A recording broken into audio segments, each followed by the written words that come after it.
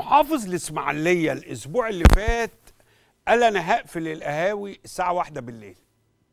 آه، صيفا 12 ليلا آه، في الشتاء علشان دي أحد الأسباب اللي بينفق فيها الرجال أموالهم وبيقضوا وقت كتير الأزواج يعني. فده أحد أسباب ارتفاع نسب الطلاق في المحافظة. النهارده محافظ الإسماعيلية عمل حاجة كويسة.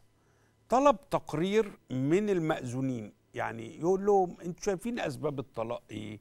إيه المشاكل؟ عجبني اهتمام المحافظ بهذه الظاهرة الاجتماعية الخطيرة. محافظ شاف إن في ارتفاع في نسب الطلاق في محافظته بيجتهد بيشوف.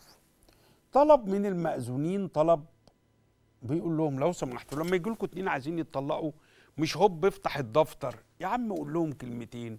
قول لهم طب الورق مش موجود طب تعالوا لي بكرة. يعني ادي فرصة يا أخي.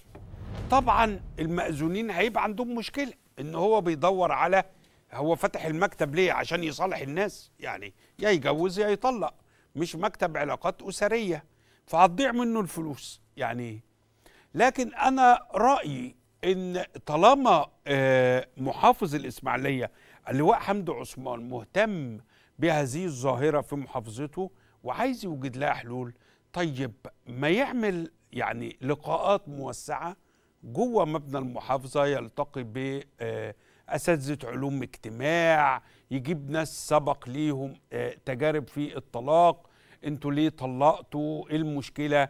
لو في ظروف اقتصادية لو في أي حاجة من ده بحيث يحدد نقاط محددة عشان يتحرك بشكل علمي منهجي.